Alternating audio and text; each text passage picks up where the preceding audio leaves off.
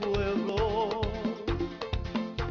debió crecer y junto a él Jorge Desde Puerto Rico, Desde Puerto Rico, yo soy baraonero. yo soy baraonero. Yo soy baronera. Yo soy baraonero. Yo soy baraonero. Apoyo mi pueblo. y apoyo mi pueblo. Apoyo mi pueblo. Y, y apoyo a mi pueblo. Y apoyo mi pueblo. Soy tú. ¿Oíste tú? ¿Y tú? ¿Y tú? Y lo llevo en mi corazón. ¿Y tú?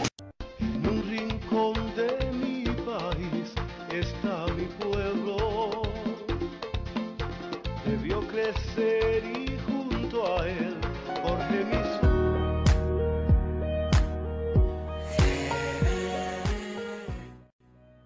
Saludos a la provincia de Barahona, al pueblo que me vio nacer. Te agradezco por esta gran presentación que has hecho. Yo soy barahonero. Háblanos un poquito de tu vida.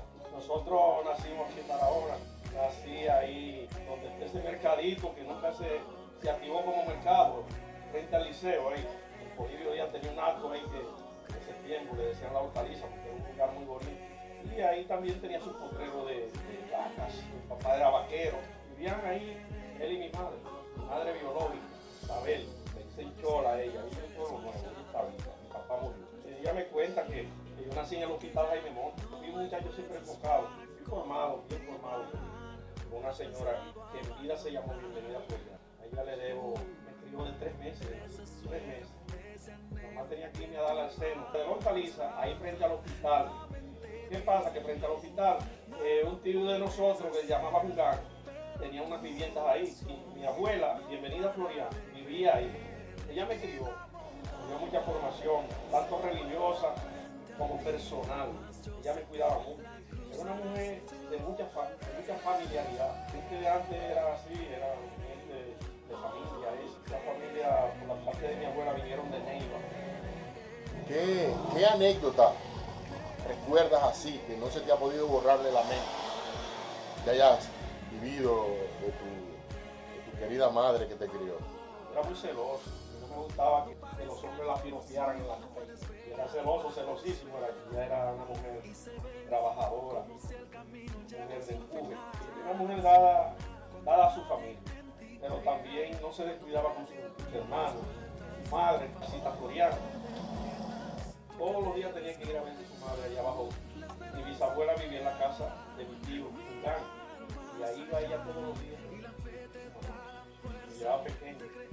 Igual que el bisabuelo mío, Pascual Félix, era un hombre también de mucha, mucha familiaridad, de. Y era gente, gente buena, gente sana. Eh, Yo tengo muchas. ¿En qué- ¿Dónde estudiaste? la escuela Félix, eh, la primaria ahí, luego la intermedia ahí en la gobernación, donde está agricultura,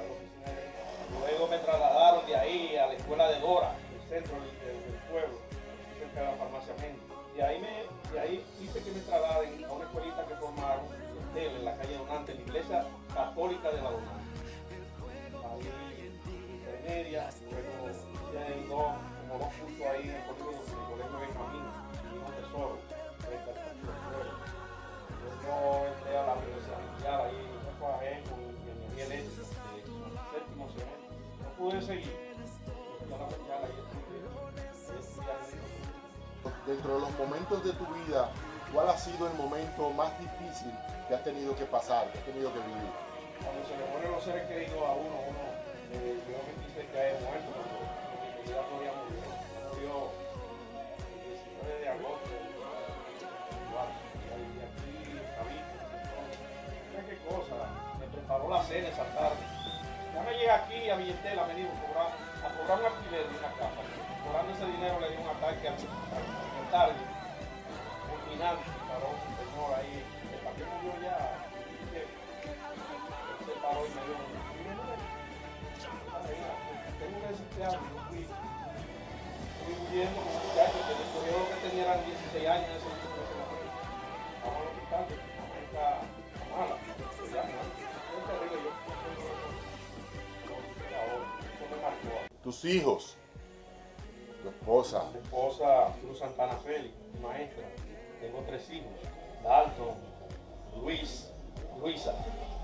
Es una costumbre casi en la familia nosotros ponerle los nombres de los viejos, de los más viejos. Una tradición entre nosotros. Uno es abogada, otro es mercadólogo, el otro es un experto en digitación. Gente preparada. ¿Cómo te sentiste cuando nació tu primer hijo? Una vez que nacía uno, era ponía muy contento. Eso transforma ya, transforma la vida a uno. Ya tú sabes, bien contento y alegre. Ya comienza otra generación, comienza otra, otra vida, ya después de uno. Entiendo que tú has sido un laborioso participante social en Barahona, en muchísimas actividades. Todo lo que yo emprendo en cuanto a lo que tiene que ver a la actividad social, a la actividad de, de ayudar, yo lo hago con el más absoluto del cumplimiento. Sí me gusta trabajar para que la gente cambie de estado, para que no haya tanta injusticia. No me gusta la injusticia.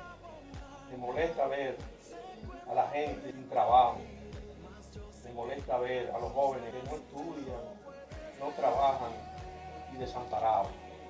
Me molesta saber y ver a las mujeres vagar en las calles sin empleo, con condiciones difíciles de vida. La actividad política me marcó el lema de mi partido.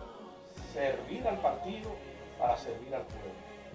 Y eso yo lo he aplicado en todo lo que. Si Dios te da la oportunidad de llegar, como entiendo que tu fe lo piensa y lo desea y lo, lo anhela, que va a ser así, ¿qué cosas te gustaría, por dónde comenzarías a, a realizar cambios en tu pueblo? la juventud. Proyecto de ley que vaya en la línea de ayudar a la juventud. Proyecto de leyes de ley en la línea de ayudar a las mujeres solteras.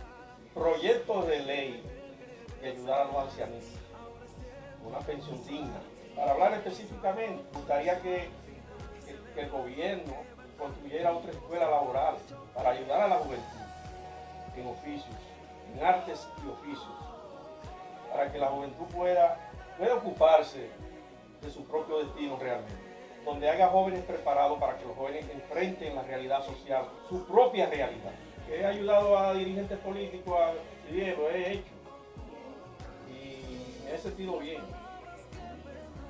Siempre lo he hecho y me he sentido bien ayudar a otros. A ser diputados, diputadas, senadores, síndicos.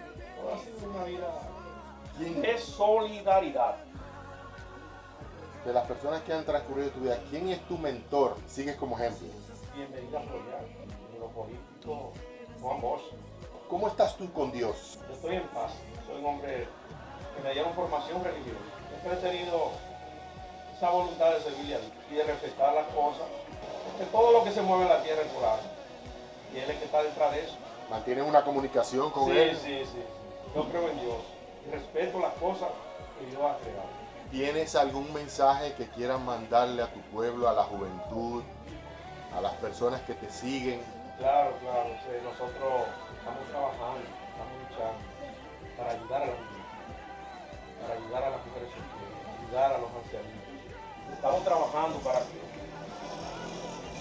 la sociedad baraonera, la provincia de Barahona, se encamine por los pasos del progreso, que la sociedad barahona se sienta que tiene, como nosotros, gente que se preocupa por ellos. Y haremos todo lo necesario de lograr esta posición de diputado por la provincia. Y vamos a estar empeñados en desarrollar el proyecto de leyes para desarrollar a Barahona. No importa lo que cueste, nosotros estamos comprometidos con Barahona, con su gente, con sus ciudadanos. La provincia de Barahona puede tener la certeza de que nosotros no le vamos a defraudar, que nosotros no le vamos a estafar, que nosotros vamos a trabajar para que Barahona sea cada vez más grande, más próspera y mejor Barahona para todos. ¿Tienes algo más que agregar? Bueno, darte la gracias a los ciudadanos y ciudadanas que nos apoyen. Necesitamos el apoyo de los ciudadanos y las ciudadanas para poder lograr los objetivos que tenemos en carpeta para objetivos que Barahona añora en los proyectos a diputados por la primero, cuando aquí en Barahona, que significa animador para mí. En la parte personal es como mi segundo padre. Y en lo político, para mí es uno de los políticos con más envergadura dentro del Partido de Liberación Dominicana, uno de los merecedores, que es la mejor opción que tiene que lograr. Y no porque sea un capricho, él tiene más de 40 años en el PLD, haciendo a otros. Creemos que ya es tiempo de que mis amigos, escucharon la breve historia resumida de nuestro líder y candidato. Nos vemos a la próxima. Esta es otra más de las entregas de Yo Soy Baraonero. Síganos en nuestro canal de Facebook, de YouTube y nuestro canal 10 en la ciudad de Barahona. Hasta luego. Bye bye.